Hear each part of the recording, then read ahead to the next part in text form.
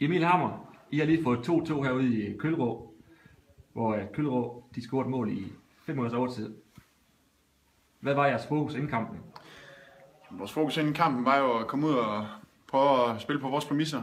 Og ja, altså, vi kom ud og møder tophold, og man kan sige, at vi er underdogs, men jeg synes faktisk, at vi spiller en fantastisk kamp. Og vi formår at holde det, vi er blevet introduceret for inden i omklædningsrummet ude i taktik. Og så, ja, vi spiller godt. Og det er i mine øjne pivhammerende ufortjent, at uh, Karup de får det kryds der. Altså, hvor dommeren han finder 6 minutters overtid fra, det har jeg ingen idé om. Men ja, i mine øjne er det dybt uprofessionelt. Jeg kan ikke se, hvad han får fra. Nej.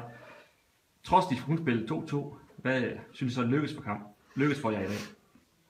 Jeg synes jo, vi øh, presser godt, og vi spiller med frihed. Øh, altså, jeg vil sige, at vi er kommet dårligt ud i den sæson her, og har haft to nederlag, men det behøver simpelthen, altså, det behøver ikke at skade os. Vi gør det sgu godt, og vi vil gerne. Vi har masser af unge spillere, og de begynder sgu at træde karakter i sådan en kamp her.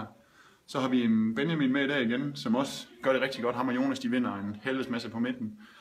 Og vi formår faktisk at hive Karup ud i, at øh, vi lige pludselig er foran 2-0, og det er jo helt fantastisk. Altså, det, hvem havde set det inden? Ja. Er der en, eller måske flere, du vil fremhæve? Jeg ved ikke, om jeg vil sige, at jeg vil fremhæve en eller flere. Jeg vil fremhæve hele holdet, fordi jeg synes fandme, det er en holdindsats i dag. Vi kæmper kraftet med røven ud af bukserne. Altså, vi arbejder lige fra start til slut i 90 minutter.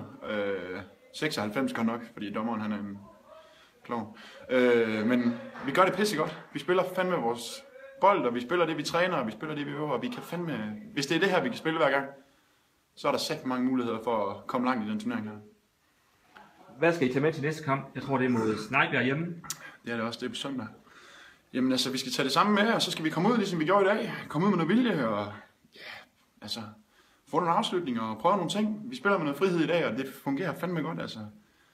Vi spiller, og vi træder karakterer, og alle dem, vi forventer noget af, jamen, de kommer sgu med noget i dag. Altså, inklusive mig selv også, og jeg synes, vi gør det rigtig godt. Vi spiller fandme noget god fodbold herude. Vi er i gang i noget godt igen nu. Scorer to mål, altså, det er jo fantastisk. Det er det, der har været vores problem. Vi kunne godt have scoret fire, men to, det er også svært at tage med. Så ja. Tak, Emil Hammer. Selv tak.